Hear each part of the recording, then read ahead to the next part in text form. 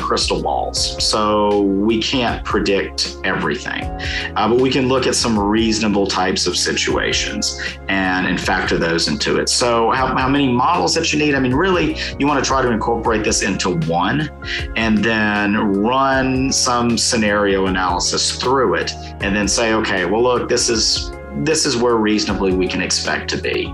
And uh, just make that decision based upon many different factors other than just saying, well, I'm going to grow 5% or 5% is my, my target goal or 10% or 20% or whatever it is that I want to be.